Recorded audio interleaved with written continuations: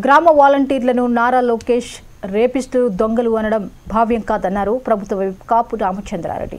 ఈవేళ VIP break సమయంలో ఆయన స్వామివారిని దర్శించుకున్నారు. గడప గడపకు వెళ్ళి సంక్షేమ పథకాలను అందిస్తున్న వాలంటీర్లపై చంద్రబాబు లోకేష్లు విష ప్రచారం చేయడం మానుకోవాలని రామచంద్రారెడ్డి హితవు పలికారు.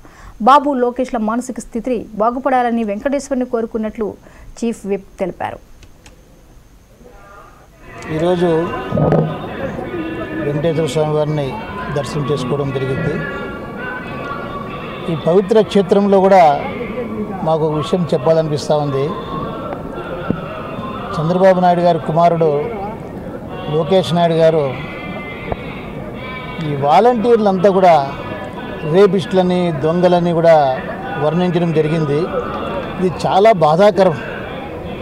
ఎందుకంటే అడవిలో ఉన్న ఊర్లో ఉన్న ఇళ్ళల్లో ఉన్న ఎక్కడున్నా కూడా వెతికి వెతికిపోయి వృద్ధులకు పెన్షన్లు అందజేస్తూ ఉన్నారు.